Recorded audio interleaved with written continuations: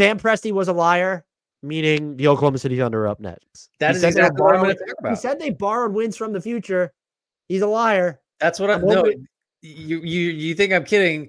Uh, the, the so I want to give you the exact verbiage that I absolutely love from. I think it was Tim MacMahon for ESPN. It was based on uh Presti's uh one of the two media availabilities he has all year, which was the preseason one where he talked for like That's two Just- more media availabilities than the Knicks front office has. sp- spoke extemporaneously for like I don't know three days, give or take. Uh, he said that uh, of the fact that the the Thunder improved by 16 wins last year over the previous season, which is like that's a lot of wins. That does not happen often. He said they uh, hit the seven percent high end bandwidth of possibilities, which I just want to say, if you want to confuse somebody or just make it so they believe you know more than they do about anything, just reference, well, you know, the 7% high end bandwidth of uh, possible outcomes on the spectrum. like 7% high end. I mean, like, I just have so many. I want to know is there a flow chart somewhere in Thunder headquarters that has their, like, I, I know what all those words are, but bandwidth doesn't make sense to me in that context. Anyway, this is all to say that he did trick us. We are gullible dummies, and we should have expected the Thunder. Some people did, by the way, to be the darling of the season and to be the team that took the leap, which they are. Uh, and that those 16 wins they got over two years ago's total were like just part of an upward trajectory and not something that is going to pull back. So, like, I just, this team, It's they're so young, right? And they still have like a lot of holes to fill on the roster. But just between SGA and Chet and Jalen Williams, they like. I mean, Giddey is like an afterthought. He's been up and down, mostly down this year. I I just don't see where the fall off comes, other than like, you know, maybe the maybe the defense isn't going to be good enough. Maybe the depth becomes an issue. But like this idea that oh we borrowed wins or oh we exceeded expectations and you know that's just it's just not accurate.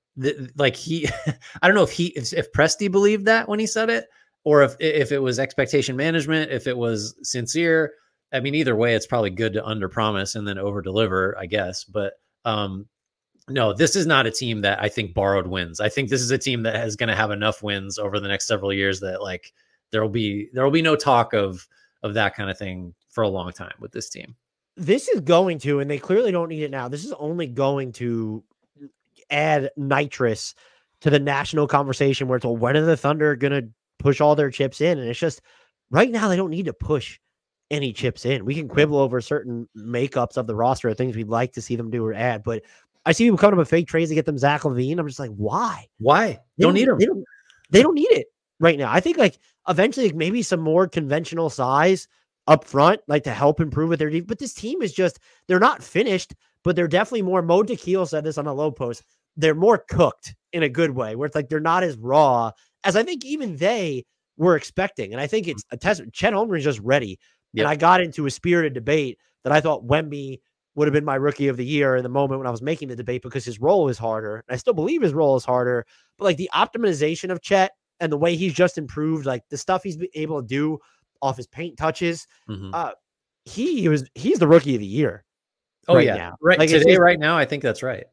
So, and well, the Spurs are kind of, I'm interested in what you came up with them. They're in a little bit of disarray and and free fall. So it's if you're gonna be Sam Presti too, I don't know if he was purposely trying to lower expectations because that's one job security, and two, you don't want to put undue pressure on a core that's still pretty young.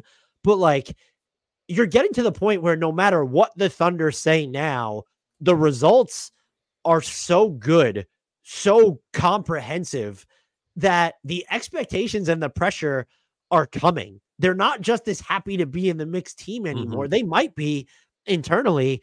That's not going to be the scope. And even the way their fan base can react at times, I mean this as a compliment. Like there are expectations throughout the fan base now. And I gave them, I think we both hit the under on their win total leading into the season, in part because of what Sam Presti said. And like, Yep. by the way, they're still doing a shit ton of experimentation. It's like these wins are just coming while they're still, I would say, pretty capably planning for the bigger picture. They've had to integrate other guys into the rotation because they were injured, specifically Jay Will and, and Kenrich Williams. this team is scared. I don't know where they are, and just if we make an echelon of the best teams in the league, but like they have a top four seed in the West right now, which isn't easy to do even this early. And all their vitals, it's kind of like last year where where on paper and the things that they're saying, the Cavaliers aren't supposed to be contenders. But when you look at their statistical vitals, they should be contenders. And like Oklahoma City is just in that you can't have a top seven offense and a right. top four fourth on defense, which I just questioned a few minutes ago.